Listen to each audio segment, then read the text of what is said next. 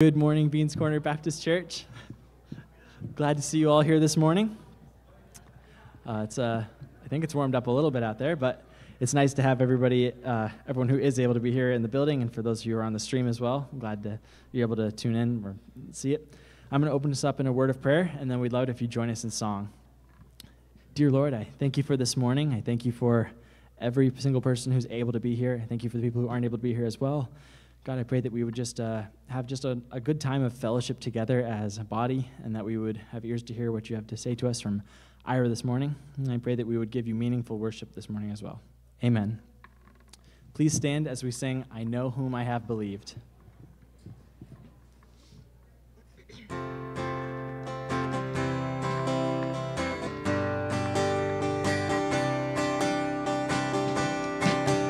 I know God's wondrous grace to me he hath made known, nor why unworthy Christ in love redeemed me for his own.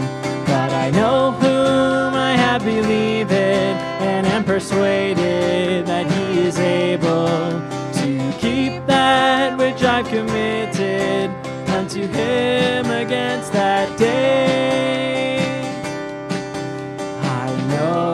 How this saving faith to me he did impart, nor how believing in his word brought peace within my heart. But I know whom I have believed and am persuaded that he is able to keep that which I've committed unto him against that day. How the Spirit moves, convincing men of sin,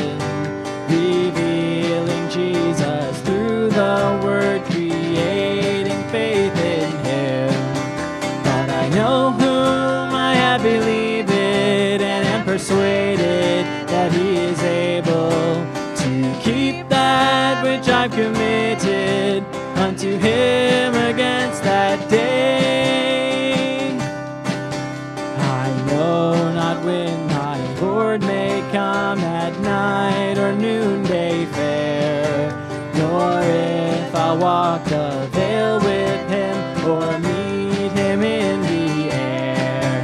But I know whom I have believed and am persuaded that He is able to keep that which I've committed unto Him against that day again.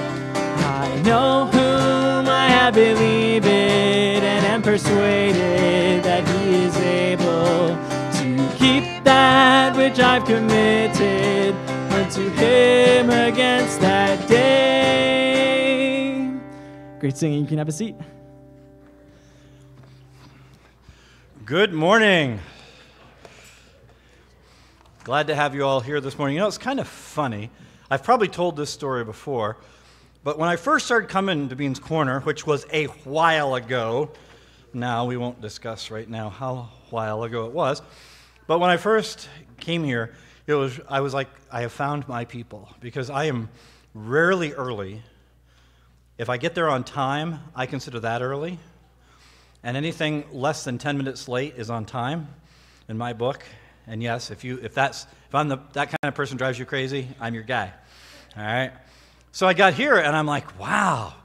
It's like half the church works on that timetable. It's amazing. And then over the years, as we were upstairs and we got fuller and fuller and fuller and fuller, to the point where if you showed up less than uh, less than 15 minutes early, you didn't get a seat. Like not it was crowded or you didn't get a good seat. It was there might not be a seat available. We were packed out. And so pretty soon people like were getting here at 10 for the 10:30 service. And people who were in Sunday school and Sunday school wouldn't get out till 10:20, so they would arrive for Sunday school early so that they could put stuff on chairs so that when they got out of Sunday school they could sit somewhere because it was that bad. And I'm like, "Wow, they killed it." Because now people aren't and then we built this place and went to two services, and you guys are right back to, yeah, I'll get there. Eh, as long as I'm there by 11, it's fine. It's kind of hilarious how that works. Anyway, whatever reason has brought you through the door today, we are glad that you're here. I'm gonna, we got quite a few announcements I'm going to try to go through very quickly. Last night, we had a party. We had fun. And uh, we, got, we got all dressed up. Not everybody dressed up, but most people dressed up. There's several bow ties. I did not wear a bow tie, but bow ties are cool. I respect the bow ties. I wore, I dressed up, and everybody lost their mind. Like I walk in the door. You know, some people say, Hi, Ira. Good to see you, Ira. Hey, it's Ira. Nope. First words Where's your Hawaiian shirt? And I only heard that 48 more times. Like, and it was like some, several people seemed concerned that perhaps I hadn't noticed. Do you realize you're not wearing a Hawaiian shirt? I had no idea. So anyway, yeah, it was. I said it's not Sunday. It's not Sunday. You know, so there are churches like if you should, don't show up in a coat and tie, they're like, "Where's your tie?" Now it's Hawaiian shirts for me. It's like, "Where's your Hawaiian shirt? Do you still love Jesus?" I was like, "Oh, I don't." Wow. But we had a great time. It was awesome. And uh, so right now, if you're in here and you were part of making last night work, please stand up. So yes, Isaac and Christy, that includes you. So.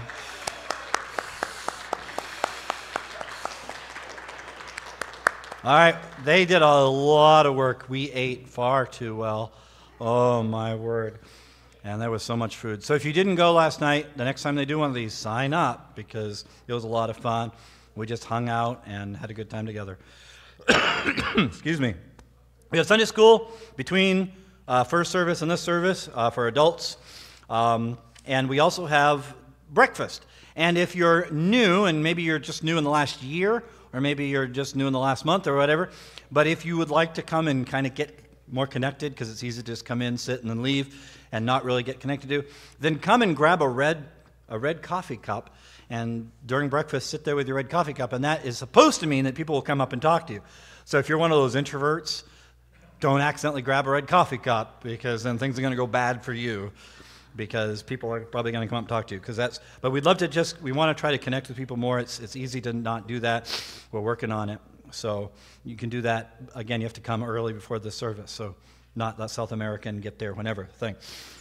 It's supposed to be uh, nursing home service this afternoon. It is not happening. They they got the flu up there so they're closed. We can't go in. So no nursing home service today. But at 3 o'clock today we're having 3 o'clock study. And 3 o'clock study will hopefully be at Three o'clock, all right? See, I just figured that with Jill. So I forgot what time it was. Three o'clock study at three o'clock. All right, down the hall here. If you didn't make it to part one and part two, then come anyway because you will not, it's not like a, a book where if you miss the first two chapters or the first 15 minutes of the show, you're lost. Uh, if, you're, if this is your first week coming, you'll be fine. Uh, each week will stand stands by itself enough that you won't be behind. Part one is on the internet. Part two on the YouTube page. Part two isn't yet. Might be before 3 o'clock study if I get time, but we'll see. Um, but we will have all of them up online eventually. But we'd love to have you here for the discussion, and we'll talk more about that a little bit later. All right, also, Sabbath Sunday is coming up. We've got two more weeks in Jude after today. We have two more weeks in Jude, and we're going to do Sabbath Sunday. If you have questions, either that have come up through the Jude series or just in general, there's a question box out there. Uh, fair warning, I always worry I'm not going to have enough questions for Sabbath Sunday, and then what would I talk about? Because you know me. I famously have trouble talking. Um, but right now, I have a ton of questions, so that doesn't mean don't ask your question. It does mean at this point I may not be able to get to all of them in one Sabbath Sunday. We have a free opportunity, free ski opportunity uh, this Tuesday from 3 to 6 p.m. for, uh, for children uh, who would like to learn how to ski or get a chance to ski. Um, we've got, uh, I don't know how many we've got signed up. We have uh, room for 10 people total. Uh, if you have any questions, my wife's back there in the back waving. You can't really, that, that, that, you can ask her, and her number is in the bulletin too. If you have any questions about taking advantage of that. Choir, we're going to do an Easter choir. So if you'd like to do it, it's kind of like a flash mob, flash choir just for Easter. So uh, on March, uh, March uh, Easter is on March 31st. March 3rd, after this service, we'll have a, a choir rehearsal. So if you'd like to jump in and, and try it out, uh, plan on that for next Sunday. Um, and then I think that's all my stuff, other than I was supposed to do this last week, and I totally forgot. Uh, I remember to do it first service, and I forgot second service. we voted in at our uh, halftime report, we voted in some new members. And uh, the ones from first service already got their certificates last week, and not all of them are here. One of them was here last week but is gone this week. So I'll just read these names, and if you're here, please come up and get your certificate. And at the end, we will give you all a round of applause. Uh, we're so glad to have you be part of our uh, family and church family. Uh, so, Steve McCarthy, Itunde. I'm, I don't know. I don't know if I dare say your last name and get it wrong. But Itunde, come on down. And then Doug Townsend and Beverly Townsend. Are they here? All right, now you can clap for all of them. Yes. So how do you say it? Joe. Ajao. Ajao. All right. Well, we're very glad to have you here.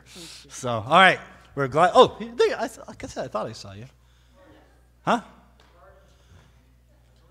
Oh, oh, that's right. Okay. All right. Well, there you go. Very good. Thank you. We will be doing a membership class in April if you're interested in learning more about membership or pursuing membership. All right. I just mentioned the Easter choir. Christmas cards. We still got them. So you should check to see if you have cards. Now, I didn't send you one. So if you go up there and nobody sent you one, I'm sorry. But a bunch of you need to go pick them up for Easter. So they're up there. I think somebody pulled them out and they're on the children's registration table. So do that. And finally, Rick is going to come and Rick has stuff he's going to talk about. And then I'm done, and then we're going to do offering next. Do we have ushers yet? If we don't have ushers, find yourself before. Good morning. Things are happening at Beans Corner, as always. Church on the move. Uh, so during Christmas time, we had an opportunity to help several local families, um, and we continue to help two uh, in particular.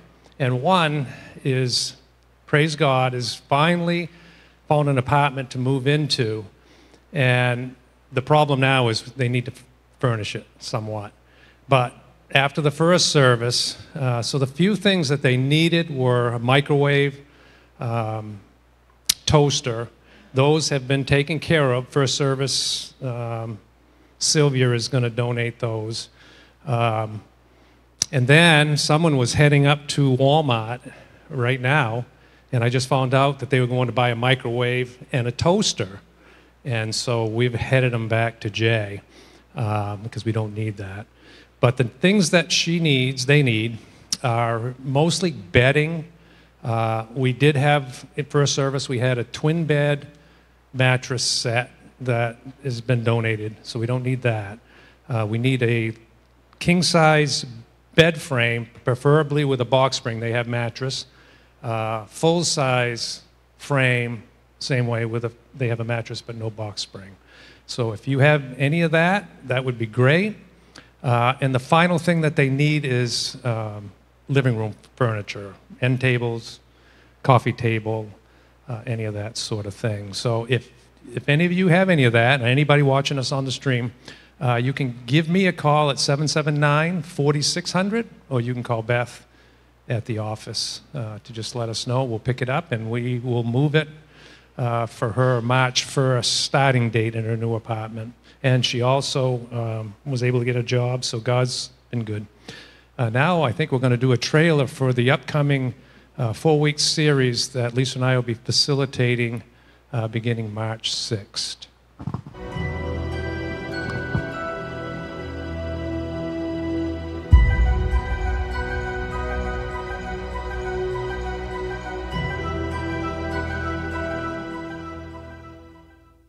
Grace and peace to each of you. I'm Reverend Dr. J. Lawrence Turner, Senior Pastor of Mississippi Boulevard Christian Church in Memphis, Tennessee. I want to welcome you to this Bible study series entitled Incognito An Easter Experience. I'm so glad that you've taken this time as we reflect upon an event that, next to the incarnation, is one of the most important events not only to happen in Christian faith, but in the history of the world. In the incarnation, God in Christ takes on human flesh and moves into our neighborhood.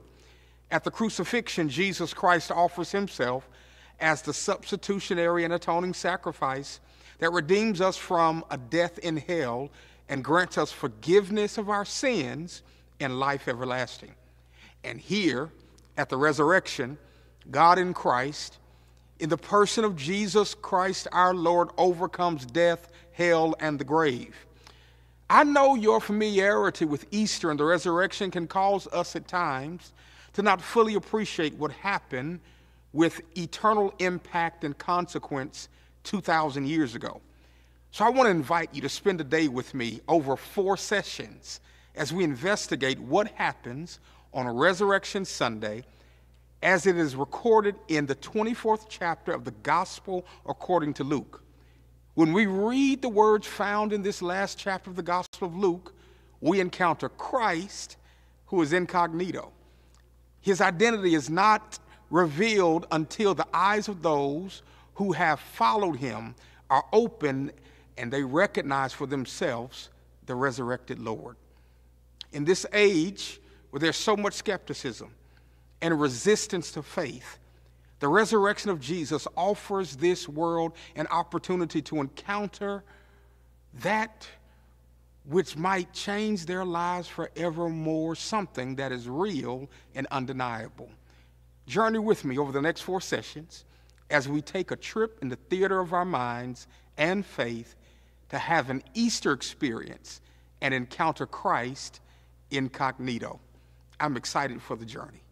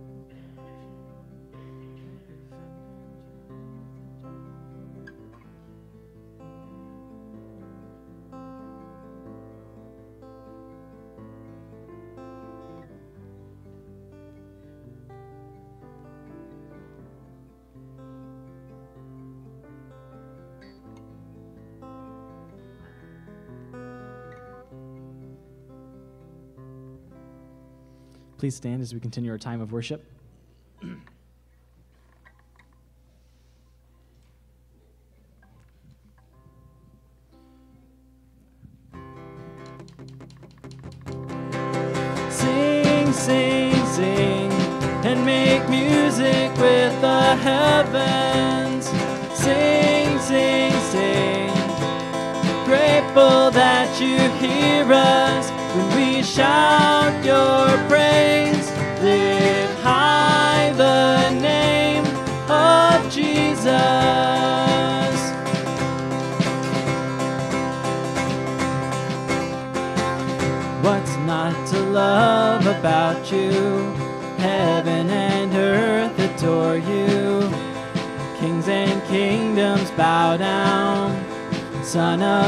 God, you are the one.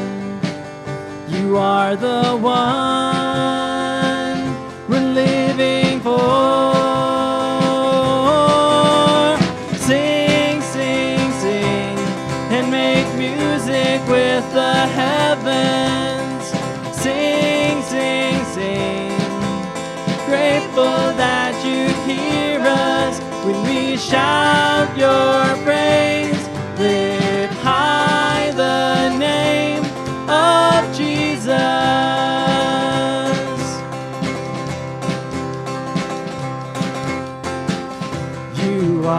love that frees us. You are the light that leads us, like a fire burning. Son of God, you are the one. You are the one we're living for. Sing, sing, sing, and make music with the heavens. grateful that you hear us when we shout your praise. Lift high the name. Sing, sing, sing, and make music with the heavens. Sing, sing, sing. Grateful that you hear us when we shout your praise. Of Jesus.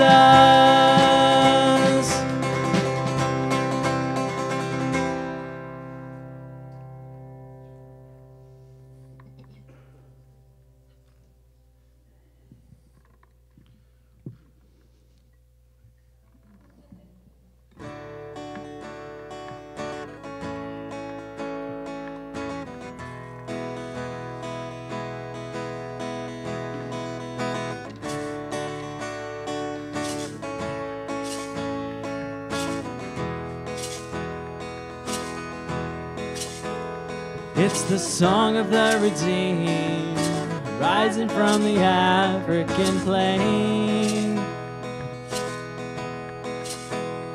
It's the song of the forgiven, drowning out the Amazon rain. The song of Asian believers, filled with God's holy fire. It's every tribe, every tongue, every nation. A love song born of a grateful choir. It's all God's children singing glory, glory, hallelujah. He reigns, He reigns. It's all God's children singing glory, glory, hallelujah. He reigns,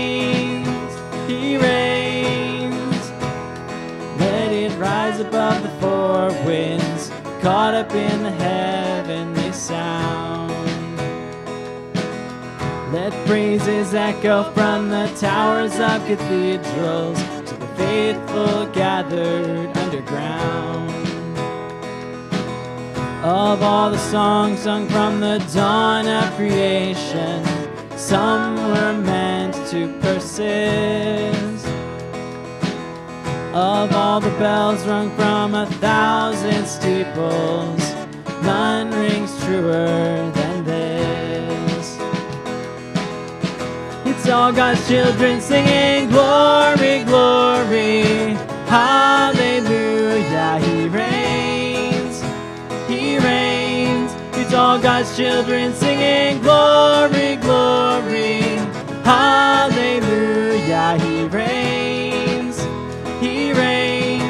It's all God's children singing glory, glory, hallelujah. He reigns, He reigns. It's all God's children singing glory, glory, hallelujah. He reigns, He reigns.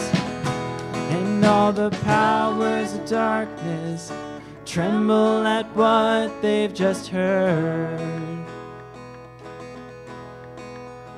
Cause all the powers of darkness can't drown out a single word. When all God's children singing glory, glory, hallelujah, He reigns, He reigns.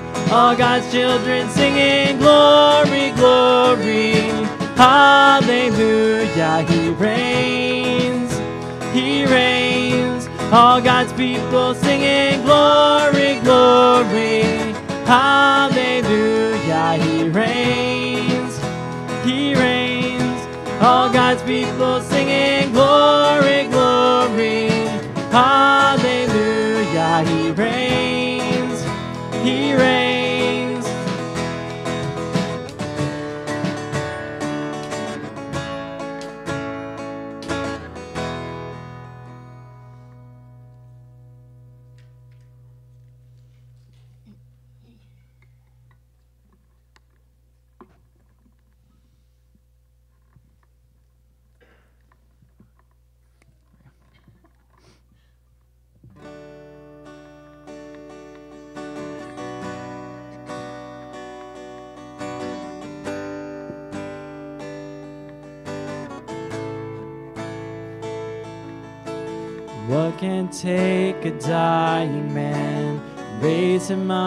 To life again?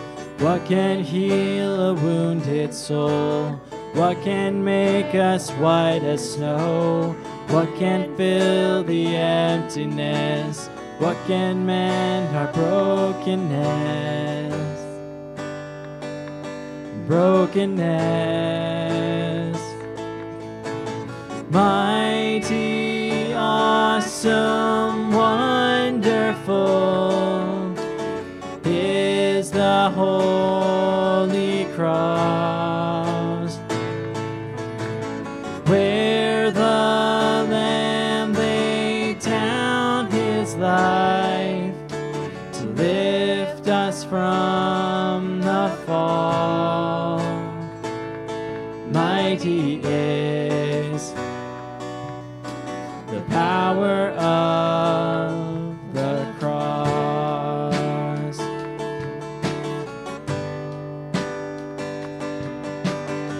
Restores our faith in God? What reveals the Father's love? What can lead the wayward home? What can melt a heart of stone? What can free the guilty ones? What can save and overcome? Overcome.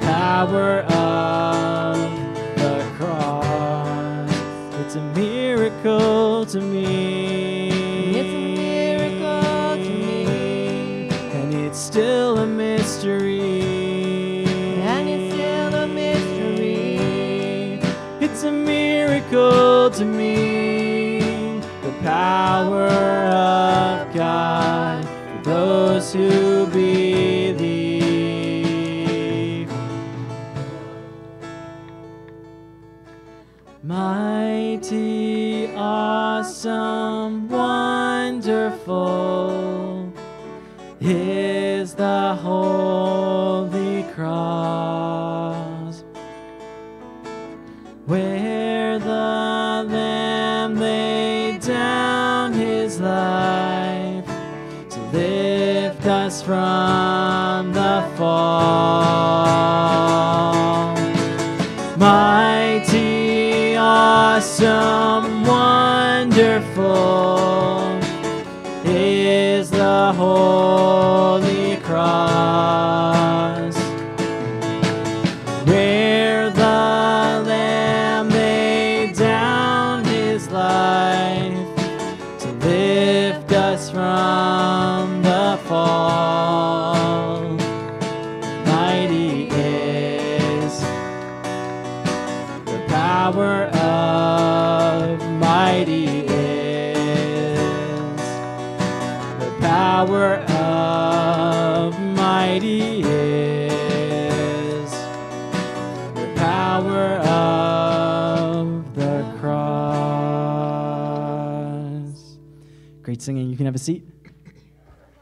Come on down.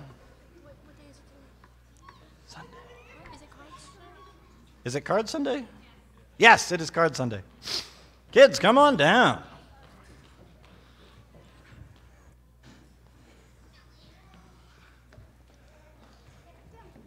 Good morning.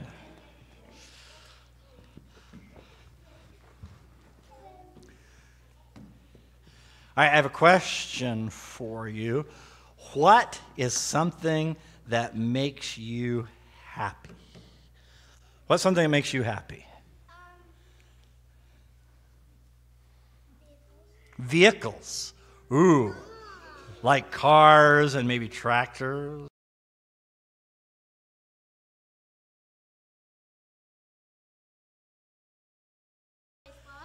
Your toy, your toy what?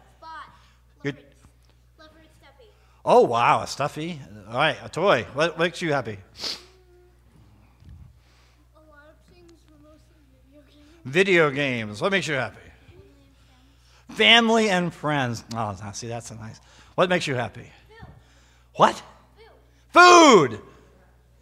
I'm with you, man. What makes you happy? You're stuffy too. You have a nice stuffy there. It looks like a like a sharp teeth stuffy. Is it gonna bite me? A T-Rex, yeah. But is he a friendly T-Rex? Okay, as long as he's a friendly T-Rex. All right.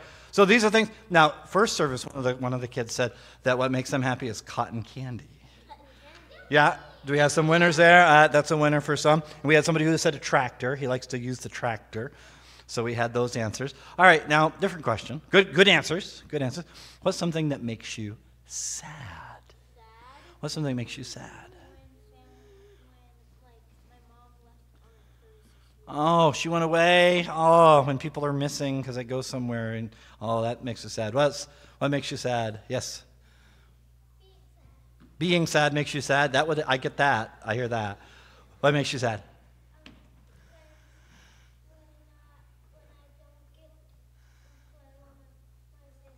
When you don't get to play with your sister. Oh, and you like to play with your sister. What makes you sad? Power outage makes you sad. Ooh. You know, there's a lot of grown ups who hear you on that one. What makes you sad? Uh, oh, wow. When you can't see your friends. Yeah. Ooh. What makes you sad? When I am doing something that's frustrating and annoying and angry because I've tried it so many times and I just When you're doing something and you keep trying and it doesn't work. Yeah. Oh, that can be frustrating too. Sometimes my brother said we just hit ourselves in the head and Ooh. we just hug, we just hug him off. And that would make you sad, wouldn't it? Yeah, getting hit in the head would definitely make you sad. Yes. Oh, when you break something you like, that would make you sad. Now, I have a question, new question. Oh, all right, go tie your boot. All right, now here's a question.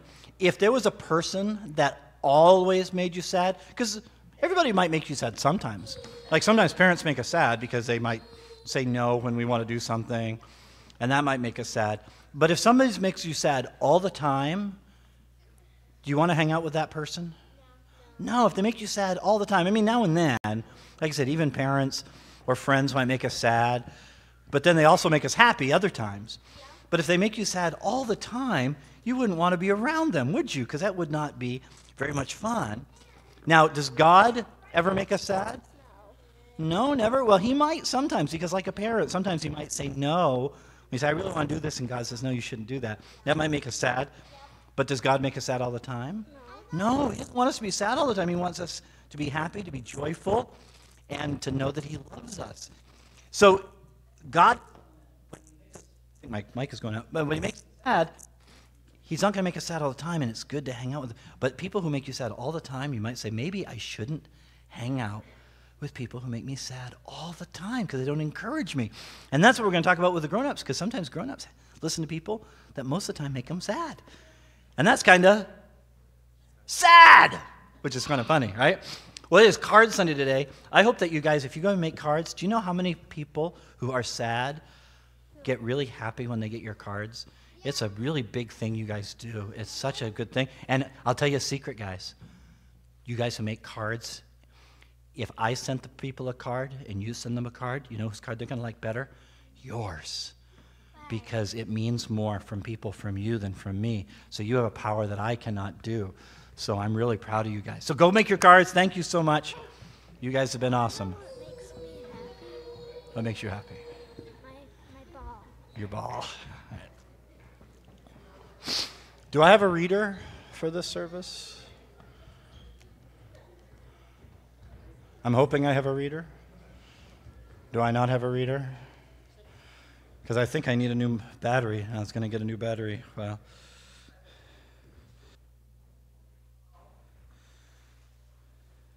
no, it says I still got. Well, I don't know. Should I should I replace the battery, or I just know I cut out there for a minute? All right, we'll just go ahead. Oh, Bill's going to read. You want to read, Bill? All right. Nobody else is coming, so first come, first serve. So Bill's going to read just two verses.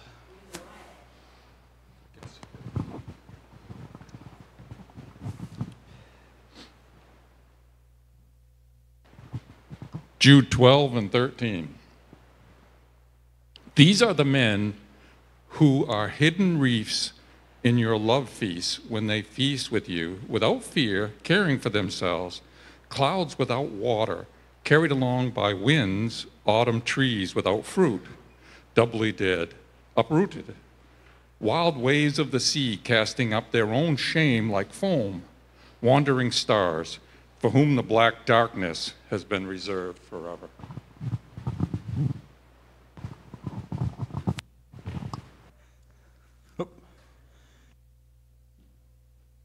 All right.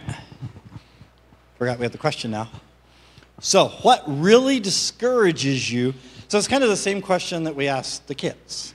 Though, when you ask kids, you say, What makes you sad? But for you, I said that, well, for the adults, we'll adult it up a little. So, instead of what makes you sad, is what discourages you and wears you out? This is one of those questions that I'm like, Do I want to ask this? Because what if it's me? So, I've already answered that one for you, so I have to come up with a different answer.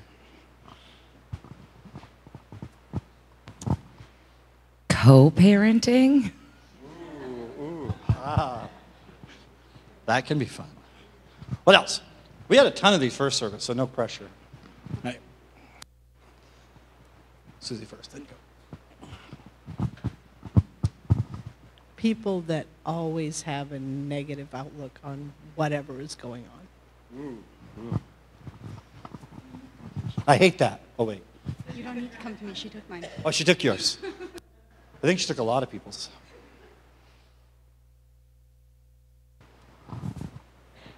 physical ailments.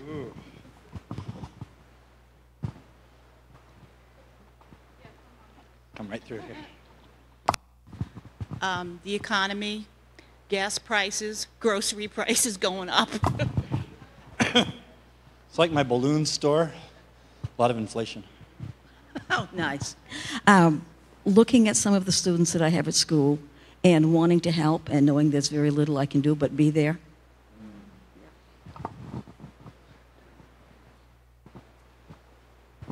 Uh, I, whoa, whoa. You have this turned all the way up.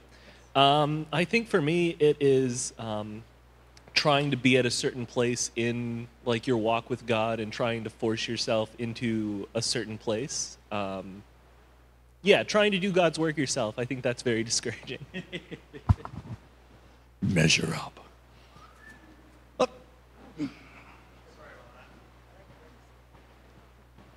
Yeah, good breaks. Uh, people who are suffering, who absolutely need God, but just constantly reject Him. Anybody else? What discourages you or wears you out? Oh, got a new one?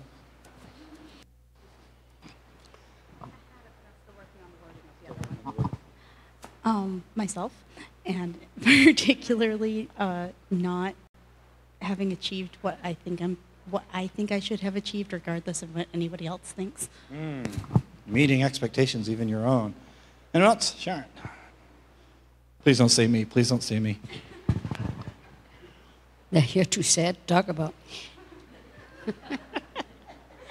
no, I think that sometimes at the end of the day, you think, oh, I was going to do that, and I didn't get that done, and that. Do you know what I think? The end, I think, I think, well, God's still with me. That's the most important thing. No matter how sad I might get, there's always somebody that's probably sadder. And then you look at our world and you think, God's God, you need to correct it. I don't. And I'm, I'm, I'm looking forward to the day when you do. Mm, mm, mm. Don't give away the ending, though. Anyone else? Go.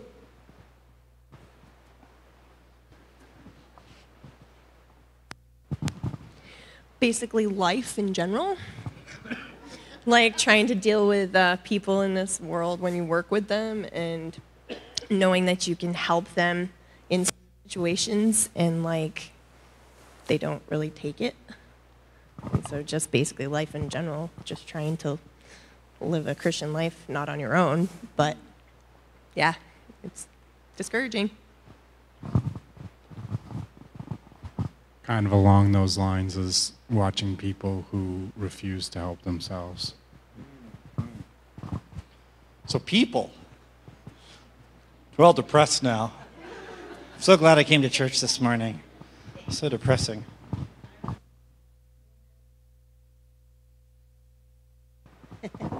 Trying to figure out how to handle our upcoming elections. Not going to touch it in any other direction. Now it's getting spicy. We better stop here. I'm sure nothing I say going forward is going to touch on that. Foreshadowing. All right. We are in part three of Hey Jude. And we've been looking at uh, Jude's message to the church, reminding that Jude is the brother of Jesus and was concerned about what was going on in the church.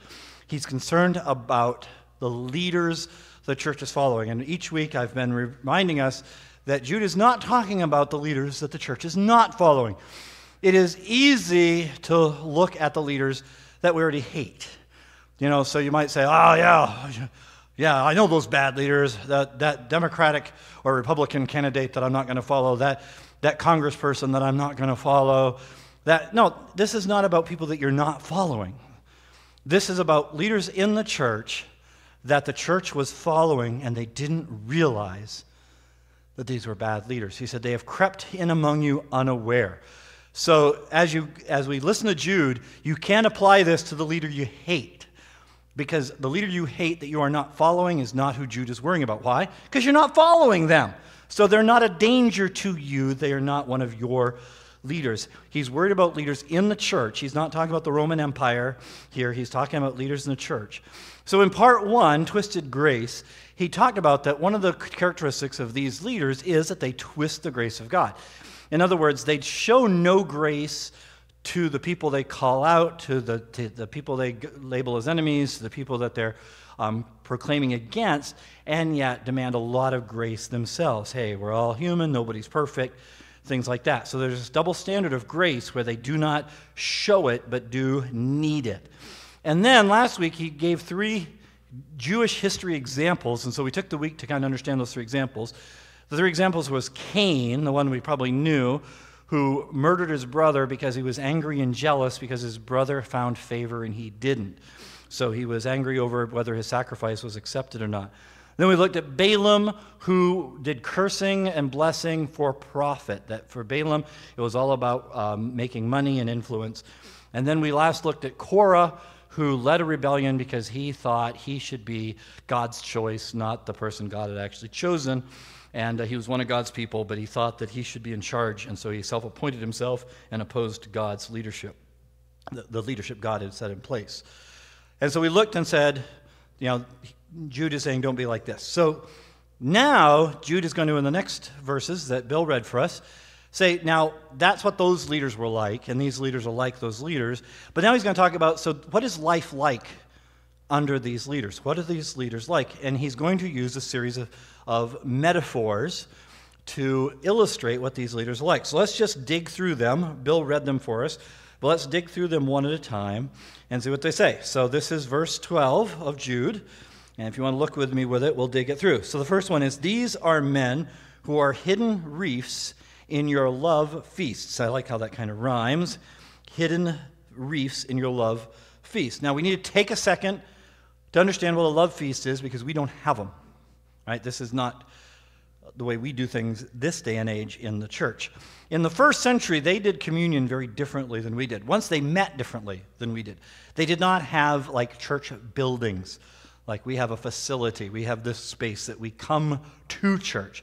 They just met in people's homes. And in some cases, when it uh, got too dangerous to meet in homes because of persecution, they actually met in graveyards and catacombs because they're like, nobody else likes to hang out there, so we can meet and it's safe because we won't get caught because nobody else is there. All right? But they would meet and they met a lot. They didn't just meet for an hour, or an hour and a half, two hours on a Sunday morning. They met multiple times a week, sometimes almost every day. And every meeting might be a little different. They might have this meeting where they're going to sing. They would might do Bible studies. They did, but they did corporate worship in different ways, but usually in homes. Um, and one of the things they would do when they gathered is they would have a, a feast. And they called it a love feast. And it was modeled over the Passover meal that Jesus had eaten Passover with his disciples. And near the end of the Passover meal, and the Passover meal had a certain structure to it and certain rituals as part of the Passover meal. And Jesus had taken part of that ritual and illustrated his death with, This is my body broken for you, this is my blood shed for you. We've taken that little piece, and on Sunday mornings we get together and we do communion. But what they would do is they would actually have a meal, and maybe sometimes it was still based on the Passover meal, because if they were still Jewish, they were used to having the Passover meal as part of their Jewish heritage, and so they would do that. But even if they were Roman Christians that weren't uh, Jewish in nature, they would still get together and they would have a big feast. And they would all get together and they'd all bring food, and they would have a big, like a potluck. And then during the meal, they would, as part of the meal, also have communion. All right? They did it very differently than we did. And it says, These guys come to those. They are part of you. They are participating in this corporate time of worship where you get together. To me, it's like, it's almost like the Baptist dream. Like, if you've ever sat through communion and said, We should do this as a meal, you know, like way more food. Because that's what Baptists do, like potluck. That is our thing, all right? And, uh, huh? All right, I'm there. Linda's making soup. I'm there. I mean, again, last night we ate a lot of food because one person, I was in the Christian Ed department at, at college, and that just called it CE. And they said CE stood for constantly eating. So, amen. I hear you, brother. All right, so anyway, he says, These guys are hidden reefs in your love feast. They're hidden reefs. And so the idea, this is an ocean metaphor. They cause a shipwreck because it looks like clear sailing, but under the surface is danger. Under the surface, you're going to run aground. It's going to rip your ship open because you can't see them. He says, again, this idea that these leaders represent a hidden danger to you. You don't realize they're bad for you. What else does it say about them? They, they feast with you without fear. They're not obviously dangerous. They feast with you without fear. They, they have, they're not worried about what they're doing. They're, there's not guilty conscience. They're not conflicted. They feel great. And it says they, my version says, caring for themselves. Some translations use the word shepherd. It's a good word. The word for caring means to shepherd. So these are leaders, and but biblical leaders are oftentimes called shepherds, but it says, but the shepherding they're doing is just for them. They don't actually care about the people they're shepherding, they actually only care about themselves. But again, this is not obvious. It's not obviously dangerous. They're not like, oh, I could tell they were a jerk from the first time I met them. No, they seem to be leaders. And he's warning about them. All right, so that's the first one. They're shepherds. Uh, they're caring only for themselves. They feast without fear. They're hidden reefs. Next one says they are clouds without water, carried along by winds. Well, this is an obvious agricultural reference. You know, you're a farmer and you're like, wow, we really need some rain, and there's a big black cloud coming. Oh, good. Ah, here comes a shower. We'll get some rain. And then the big black cloud comes over and goes, blows right by, and there's no rain. And so it's a cloud without water. It doesn't help you. It doesn't refresh the land. It doesn't water the land. It doesn't give you what you need. It doesn't actually just leaves you dry. That one's pretty simple. Next one autumn trees without fruit, doubly dead, uprooted. Autumn trees, autumn is when the, the fruit is supposed to be ripe. Autumn is where you pick the fruit. So imagine you say, oh, it's fall, let's go apple picking. And you go out to the apple and you go up to the first tree and there's no apples. You go to the second tree and well, there's no apples. This is a problem if you have trees in autumn without fruit. They do not, again, like the cloud without water, they don't nourish you, they don't feed you. There's no actual refreshment here for you. And so then he throws in the editorial they are doubly dead, uprooted. In other words, they're just, there's no point in them. All you got to do is burn these guys up. They're good for firewood, that's it. Verse 13, next one. Next metaphor wild waves casting foam. This one is, might be a little tricky for us because we live here in Maine. So our idea of uh, foam is we think of sea foam in the sense of it's kind of cool and you know you just get the frothy waves. But that's not the picture here. Turn with me to isaiah 57:20 don't lose jude we'll be back there in a minute. But isaiah 57:20 israel when they thought about waves and wave foam, they had a very different picture. And Isaiah 57 20 will give another example of the same usage. But the wicked are like the tossing sea, for it cannot be quiet, and its waters toss up refuse and mud. Refuse, of course, is uh, what we call it pollution. It's the stuff you dump in the water, like after the cruise ship went by and they all flushed the toilet type thing, you know? In other words, it's like, ew. It's like, do you want to walk on the beach? Not today. Do you know what's washing up? Oh, it's it's garbage. It's because the sea has cast up all its pollution onto the water, onto the shore. That's the idea of what it's referring to here when it says they waves the sea, casting up their own shame like foam. So this isn't, oh, look at the pretty froth. It's, no, this is, ew, don't walk through that, you'll get sick. It's garbage. It's filth. It is pollution. It is refuse. All right? So he says they're, they're like that. They, they, they form these big waves, but when they cast stuff up, they foul you. They foul you. All right, one more. Also, verse 13. Wandering stars for whom the black darkness has been reserved forever. Wandering stars. These are, we call these planets. All right, you look up into the sky and there's all these little, little points of light. Now, we have also points of light that move really, wander a lot. They're called satellites. You go, oh, that one star's moving. It's moving fast. All right. But they didn't have satellites, but the planets, you know. We can see Mercury sometimes. We can see Venus a lot. We can see Mars. Sometimes you can see Jupiter and Saturn. Sometimes you can see Uranus. It's all up there, and they move. So, in their culture, when you're going to navigate, what are you going to navigate by? The stars. All right? Point to that star and go. Well, if you're pointing towards a star that's moving, well, that's going to be bad navigation for you because the star is unreliable because it moves. And so they also they thought of these spiritually because they thought of those stars as like angels. And so they used the wandering stars, the angels that don't stay in their place and are reserved for black darkness. They're going to be cast out because they do not do what they're supposed to do. And he says, and these leaders are like that. They're bad for guidance and they don't know their place. And then, so there, there's the metaphor. So we had hidden reefs, clouds without water, autumn trees without fruit, um, wild waves casting filthy foam, and wandering stars. And then in verse 14 and 15, we have a, a weird couple of verses. It was also about these men that Enoch, in the seventh generation from Adam, prophesied, saying, Behold, the Lord came with many thousands of his holy ones to execute judgment upon all, and to convict all the ungodly of all their ungodly deeds, which they have done in an ungodly way, and of all the harsh things which ungodly sinners have spoken against him. Now, this one throws a few people off. Enoch, if you know Enoch, Enoch's in Genesis. All right, in Genesis, uh, Enoch is a descendant of Adam, and it says, And Enoch was not, for God took him. Now, we don't know exactly what that means, whether it means Enoch died early, whether Enoch, some people say that meant Enoch never died. God just like he was, we used to joke that he was the first victim of the rapture. Um, you know, but whatever it means, that's our only mention of Enoch and we don't really know anything about him. We don't even know for sure what it means that God took him.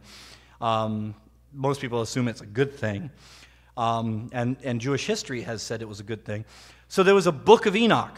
By the time that Jude is writing here, there was a book of Enoch. Kind of like the Gospel according to Enoch, but that wasn't what it was called. It was just called the Book of Enoch. And it was something that was very important to in Jewish culture. Now, the, the Jewish culture and the Roman Christian culture, because it grew out of the Jewish culture, they all really liked the book of Enoch. It at no time had been considered inspired, okay? As the book of Enoch became popular, they was like, this is a good book. It has a lot of good stories in it. it. It has a lot of good stuff to help us understand what God is doing, but it is not the inspired word of God. So at no time was it part, the Jews did not consider it part of their canon, part of their Holy Scriptures, and the church didn't, but it was well known and well liked and well understood. And so there's a couple different authors of the Bible that reference it. Why? Because their readers would understand it.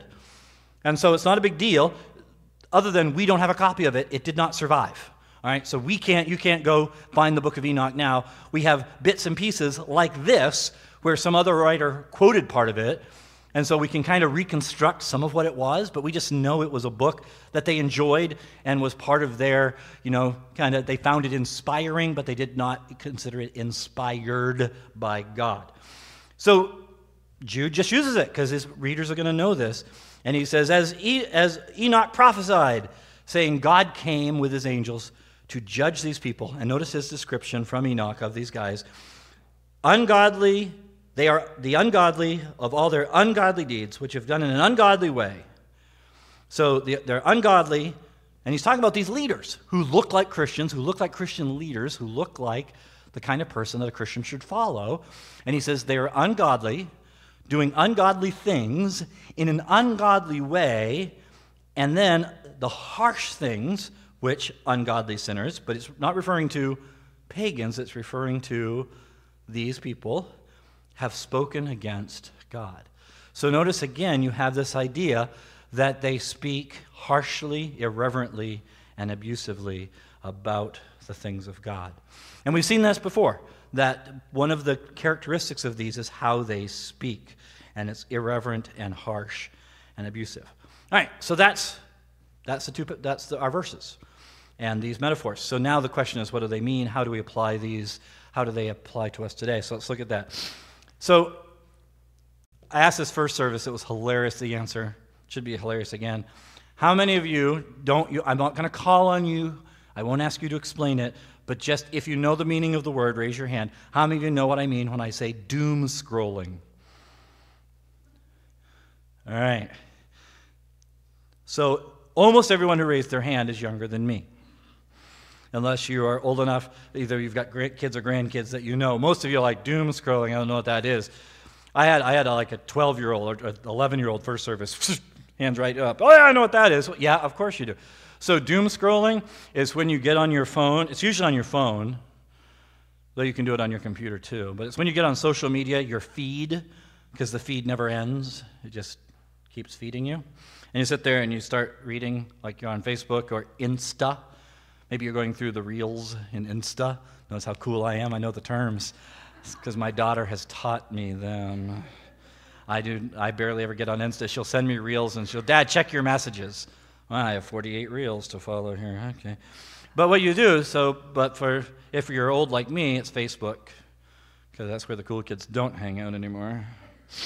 But you get on, or for me, it's Twitter. But you get on and you start, I'm just going to look at that a minute.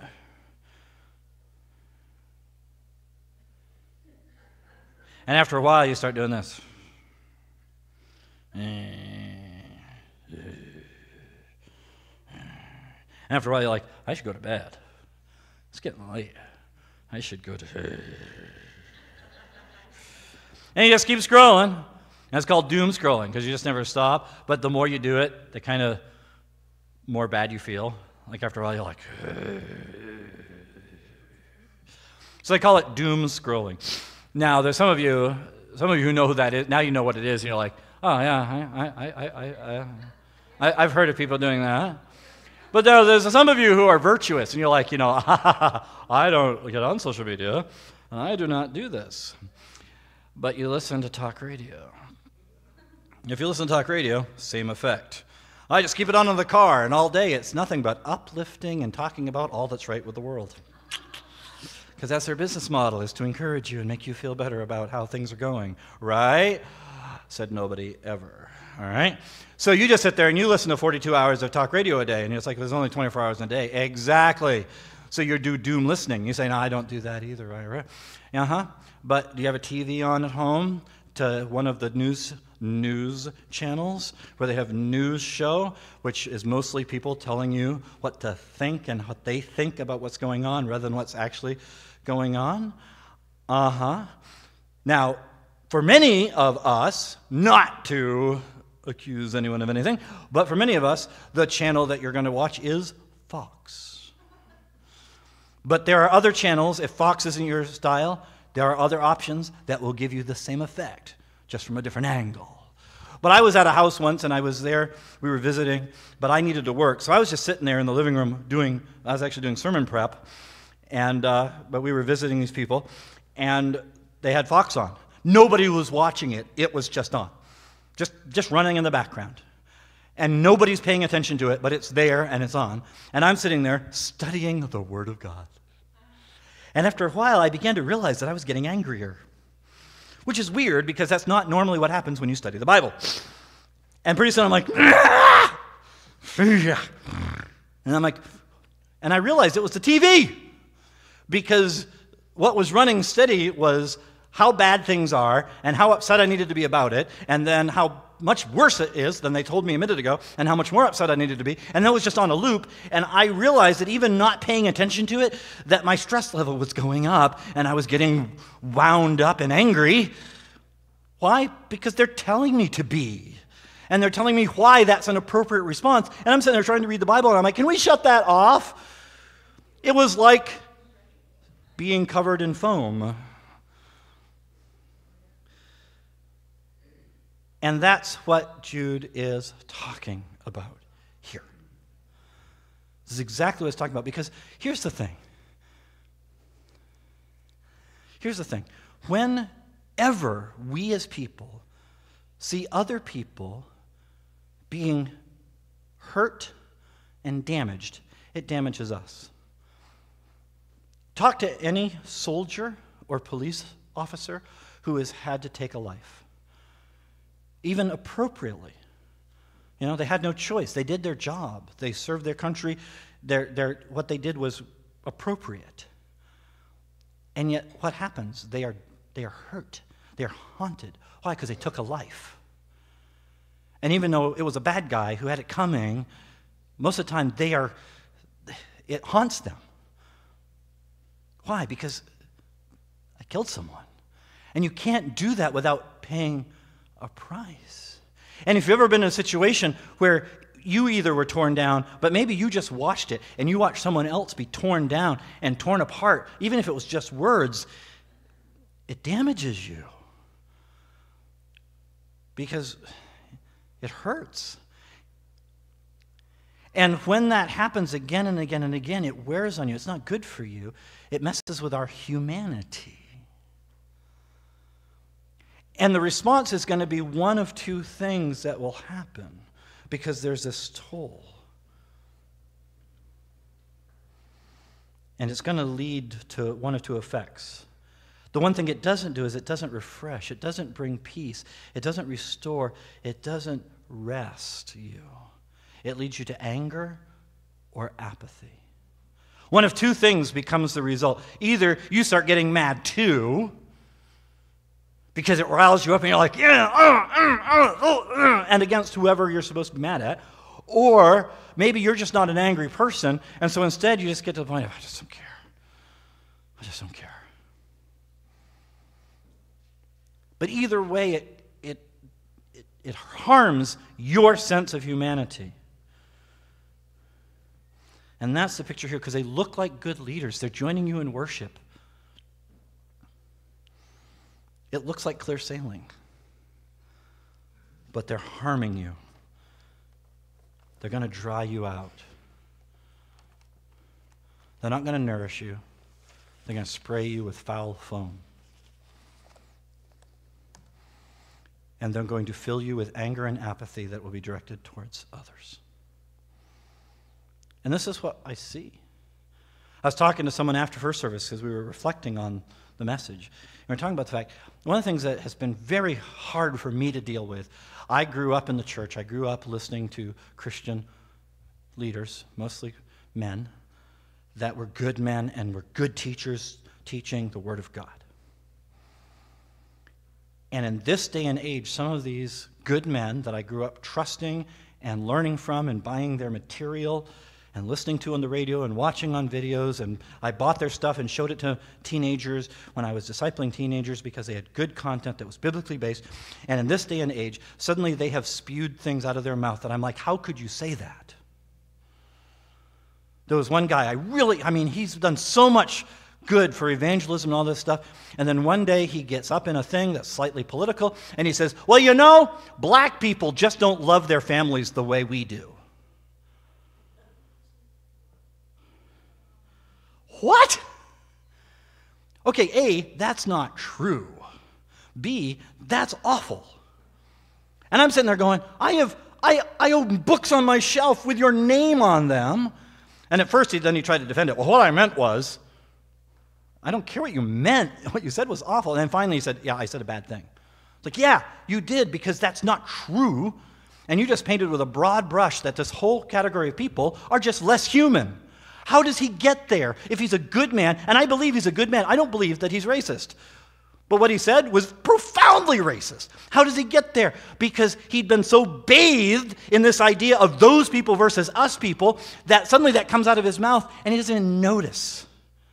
He's damaged by the rhetoric, by the inhumanity, where suddenly he can now say that these people are not as human as we are. Well, that's damage.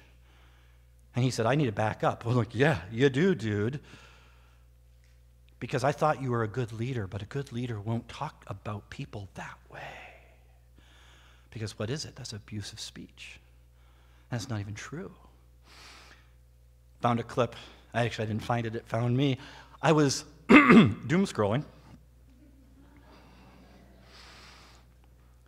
And this pastor at a independent Bible church that focuses on we're here to teach the Word of God. They even wear suits. So you know it's good.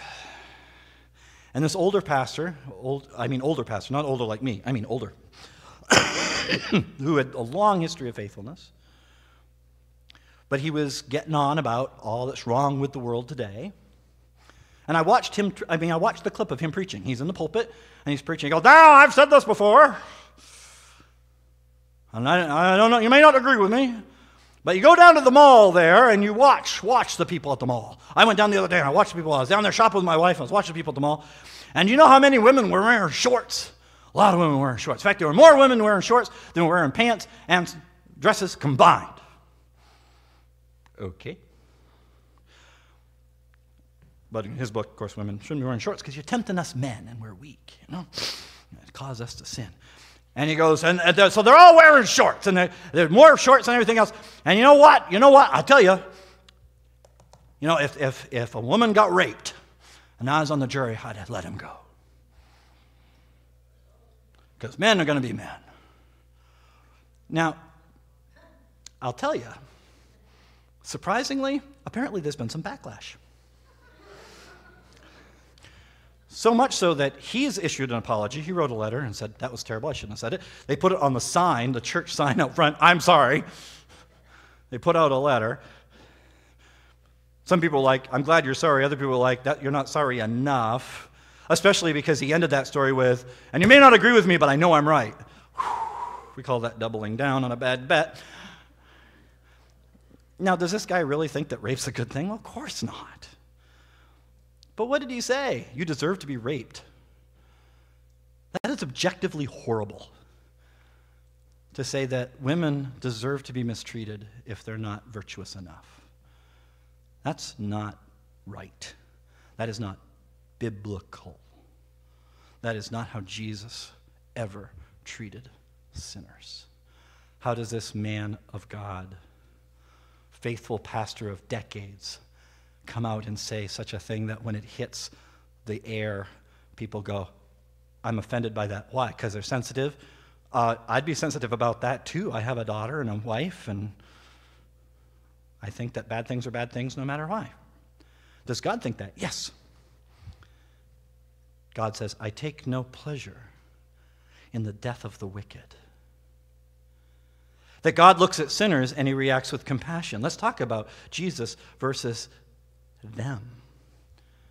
Jesus comes to earth. Now he is God, but he's also a human living in a pretty similar society to what we're living in today. And he's confronted one day with a woman who has been caught. It's not like an accusation, it's not been caught in adultery. And he's faced with a group of Christian leaders with rocks. Because that's what the law says you do with this guilt. And what does Jesus say? You should put those rocks down. And he says to her, I don't condemn you. But what's going on today? They tell you you should pick those rocks up. If you really want to love that woman, it is not loving to not hit her with a rock. If you're just going to let her go, that is not loving. Loving is pick up the rock and hit her. She needs to understand it's wrong. But Jesus said, put your rocks down. He didn't say it doesn't matter whether she deserves it or not. Don't throw rocks at her. And then he says, as the holy God of Israel, I don't condemn you. tax collectors. Now, we ta- tax collectors, we try to import that into our culture. You can't. You say, well, I hate the IRS. Well, I'm not a big fan either. Why? Because I don't like paying taxes. Who does? But the, the IRS was created by us. We voted for him. You say, well, I didn't vote for him. Yes, but you participated in a democracy that did. I'll tell you who didn't create the IRS aliens who conquered us and then put the IRS over us and said, take their money. You say, well, that's kind of ridiculous. No, but that's how Israel saw tax collectors because who did tax collectors work for? The Romans, who were what? Alien invaders, who took them over by force. And they didn't have a vote. They didn't get to vote on policy. Even if they lost the vote, they didn't have a voice. It wasn't passed by majority, it was passed by the sword. And it was imposed on them, and you'll pay the taxes, and we don't care if they're fair, and we don't even care if our tax collectors cheat. They're working for us. That's fine. We don't care. So these guys were hated and they were seen as traitors because they got the Jewish people to be the tax collectors. So you are betraying your own people.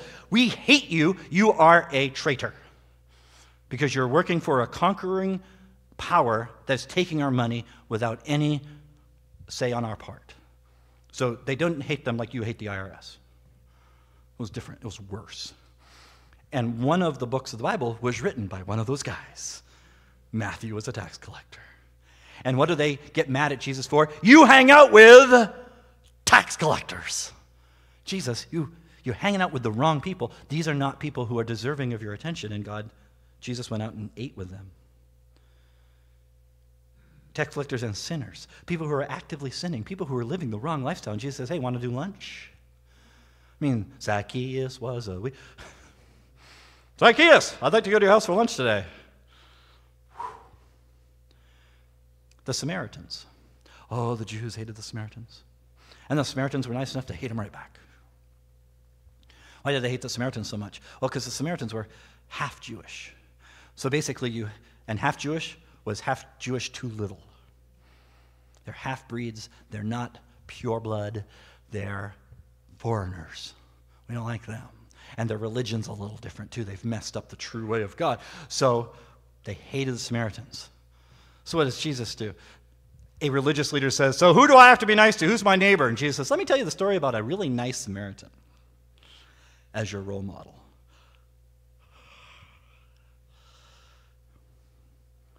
Because Jesus calls us, we did this in the previous series. What does Jesus say? Come to me and I will give you rest. And what does rest mean?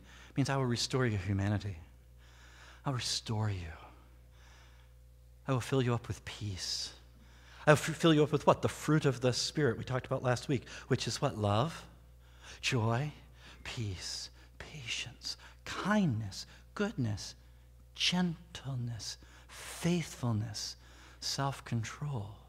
These guys, they don't fill you up with that. They're like clouds without water. They're like sea foam. They're like f- trees without fruit. They're like hidden reefs that will wreck you while looking safe.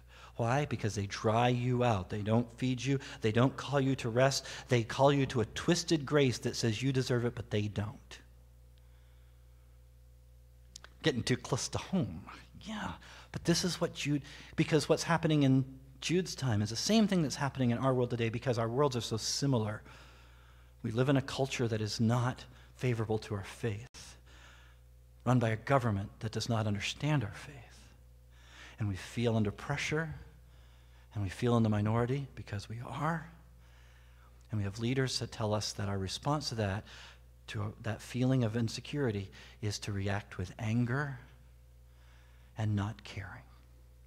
Do not care for those other people. Do not care for them. And I listened to the other day, this is the last example I'll give, because it just it broke my heart because it's not Jesus.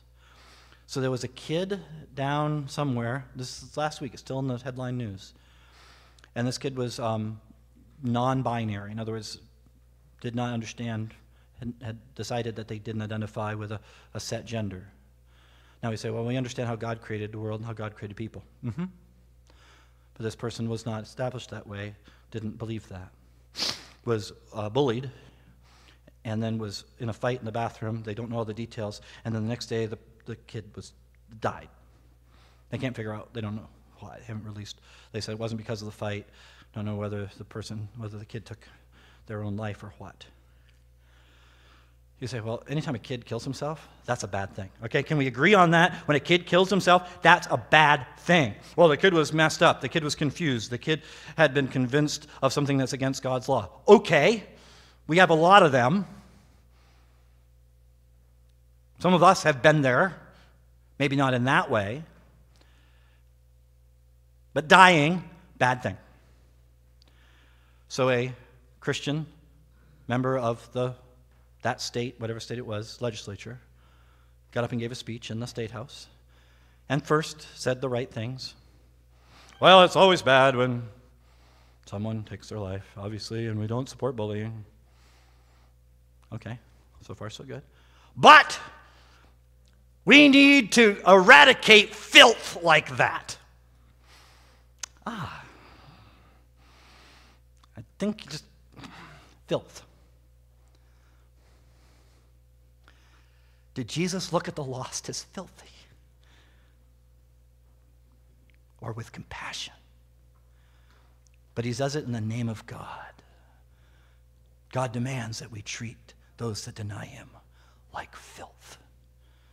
These are not the leaders that we're supposed to listen to.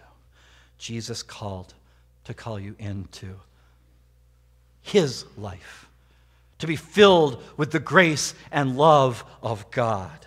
Don't follow leaders that twist that while claiming to be from God. Because it's easy to get caught up in doing it. And you might not notice that you're getting angrier and that you can look at someone who is lost, who isn't doing the right thing, and say, because they're not doing the right thing, why do I care if they die? Hey, if they try to sneak into this country, I should be allowed to just shoot them dead. I don't care. Why? That's apathy. And the God of the universe says, even when I have to execute judgment, I don't enjoy that. First Peter says, Why isn't he come back yet? Dear friend, he is not slow about keeping his promises, as some understand slowness. But he is patient towards you, not willing that any should perish, but that all would come to repentance.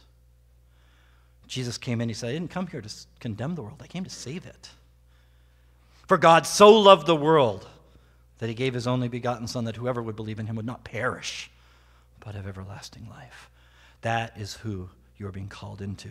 Be like Jesus. Jesus wants to fill you with his Spirit, he wants to fill you with the fruit of the Spirit. He wants to make you more human like he became as a human. Don't follow leaders that lead you away from that. Let's pray. Father, this is, this is really real. It's, we have many voices who eat with us and worship with us and sound right. They are claiming to be from you. They Lord, Lord it. They proclaim your law, they proclaim your word, but they also speak very abusively of other people. They deride gentleness as weakness, as they deride compassion as something that you have to be careful of. They call out, and it's easy to start thinking we should follow these guys. Lord, we thank you for Jude, that you preserved his words for us today as he warns us as a church to be careful of who we follow. Hidden reefs and love feasts that come and worship with us, but are really have a different agenda that is not centered on you. Lord, may you give us wisdom. Lord, as we live in this fallen culture, we live in a pretty liberal state, in a country that by and large is not aligned with your word. May we be a salt and light. May we be representatives of you, like when you came into a world a lot like ours. And you told people to put the rocks down, and then you invited them out to dinner.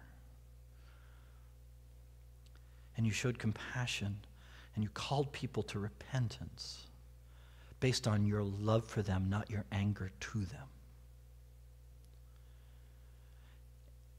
And you demonstrated that love the greatest way by going to the cross and dying for all of us, none of whom deserved that act. Lord, may we be constantly moved by our own need for grace and compassion. Freely, freely we have received. May we freely give. The same love and compassion that allows us to stand in your presence, allows us to call out to you, allows us to be called your children. Behold, what manner of love you have for us that we can be called the children of God. May that love be what fills us. Lord, our world is fallen, it is wrong, it embraces unrighteousness. Lord, may we be like you and call out to them, Come, all you, and find the rest that is in you.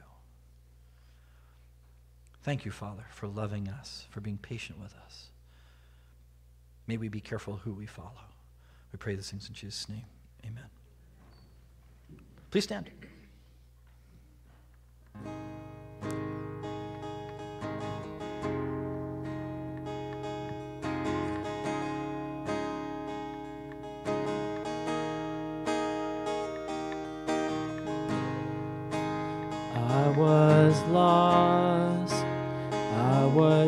Chains. The world had a hold of me. My heart was a stone, I was covered in shame. When He came for me, I couldn't run, couldn't run from his presence. I couldn't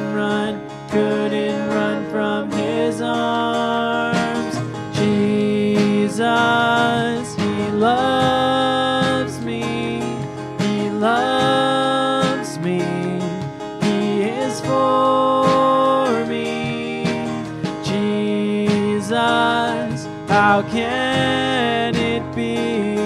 He loves me, he is for me. It was a fire deep in my soul. I'll never be the same. I stepped out of the dark into the called my name. I couldn't run, couldn't run from his presence. I couldn't run,